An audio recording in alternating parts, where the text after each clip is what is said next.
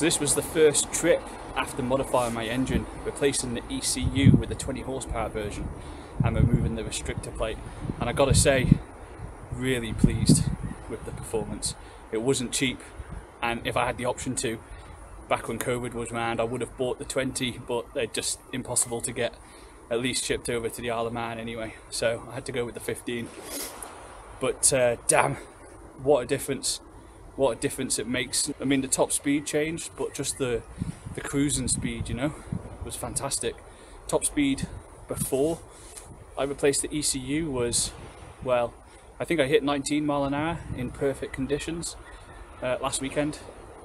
But this at cruising speed was like 18 and a half. So to do that at half throttle, you can just do all day. Nice low revs, nice and smooth, low fuel usage, fantastic.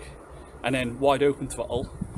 Uh, for the most part, I was hitting 22 mile an hour, and then at one point it flipped up to 23. But yeah, you can't really count that. So yeah, love it. What a boat! Really happy with the Scout. Like I said, not perfect, not perfect, but I mean, she looks great. Look at this. That is a lovely looking boat.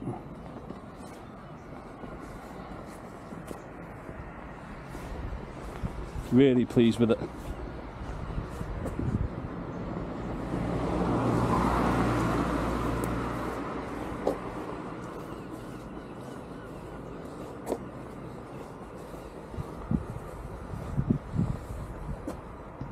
So I will be installing some oars because I need them. I just need them, especially when I'm solo. So hopefully when Excel get those in stock, I'll uh, I'll be able to get them installed and make my life a little bit easier when I'm trying to launch and retrieve by myself. But yeah, really happy with the boat. Yeah, really happy.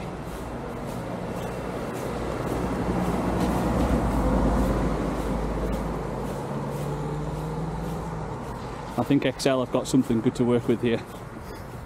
And I'll be really interested to know what the second generation of the Scout will look like.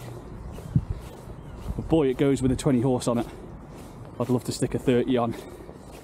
Hope you enjoyed that one, and as always, if you did, please give us a thumbs up, give us a like, and a subscribe. Much appreciated. See you next time.